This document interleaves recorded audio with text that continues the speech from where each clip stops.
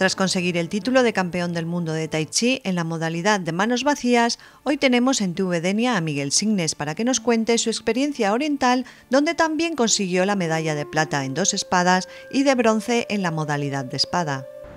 Bueno, pues supone mucho. La verdad es que yo cuando fui allí eh, no esperaba tanto, porque ten en cuenta que para allí en Taiwán el Tai Chi es una disciplina de vida, una filosofía. Eh, Aquí siempre he vivido la, etiqueta de deporte minoritario, claro, deporte minoritario. Llevo 15 años aquí haciendo este deporte, entonces mm, llegar allí donde, donde el día a día es el tai chi, donde hay campeonatos eh, cada semana, donde la gente vive el tai chi, pues es mucho y encima... Eh, llegar y, hacer un buen papel y que los maestros te feliciten por el tai chi que tú haces, pues, ya que digo, el ganar una medalla es mucho, pero que la gente que practica tai chi toda su vida venga a felicitarte y te diga, oye, tú haces muy buen tai chi. O sea, eso hace mucho, eso hace mucho porque quiere decir que las cosas que yo estoy haciendo las estoy haciendo bien. Normalmente yo trabajo, las, las modalidades que trabajo son mano vacía, la mano vacía es eh, la que está más extendida y muchos estilos de mano vacía y luego tenemos las armas.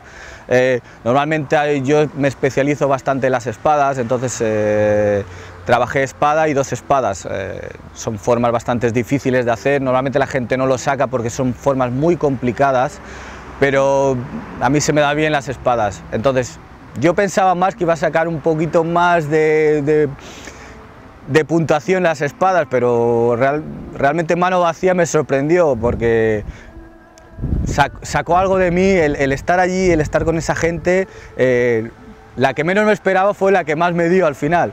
¿eh? Entonces, eh, esas son las tres modalidades que yo, que yo más a gusto estoy. Eh, son muy complicadas, yo hice unas formas muy complicadas para el campeonato, no son formas sencillas, pero claro, yo digo, si voy allí me tengo que arriesgar. Y si me arriesgo, voy a tope. ¿Salió bien la cosa? Salió muy bien la, cosa. Me arriesgué, me salió bien. Después del Mundial la motivación estaba muy por arriba, muy por arriba. Eh, claro, realmente cuando, cuando, cuando mm, sacas lo mejor de ti y ves que lo has hecho muy bien, a la semana siguiente fui pues, doblemente motivado y, se, notó, se notó porque conseguí tres de oro en las tres modalidades.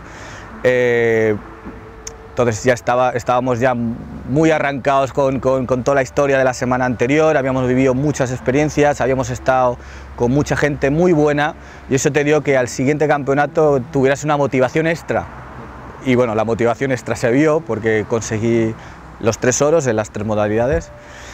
Y, nada, muy bien, muy bien, muy bien. Y si realmente, realmente la, preparación eh, bueno, yo ya llevo 15 años haciendo esto, o sea que la preparación es el día a día, yo tengo clases todos los días, entonces yo cada día, cada día entreno, cada día preparo lo que son el aprendizaje mío. Hace dos años me, propusieron el, venir en, este año, en el 2014, al Mundial, entonces más o menos yo he seguido siempre mi, rutina. Eh, buscando hueco, porque tengo clases, buscando hueco para, entrenar también con, mi maestro, con Pepe, eh, y perfeccionando un poquito las formas, pero realmente el trabajo ya está, ya está hecho, o sea, no es, tampoco es una preparación especial, yo trabajo todos los días, es un entreno diario, diario y diario. Entonces es simplemente, el entreno es simplemente haciendo detallitos. Yo llevo ahorrando por mi lado, con, mi familia, eh, pero me ha sorprendido porque han venido muchos alumnos sabiendo dónde iba, eh, han recogido dinero entre todos, eh, me han dado dinero para ir, la misma ilusión que yo tenía la he transmitido a mis alumnos, claro, pero ellos se sienten orgullosos de que su profesor vaya a un campeonato. Entonces he recibido por parte de, mucha gente eh, ese apoyo, la gente también de, donde yo vivo, la gente incluso de, donde nos juntamos, eh, los bares para hacernos la cervecita, venían y uno te daba 10 euros, otro 20, toma.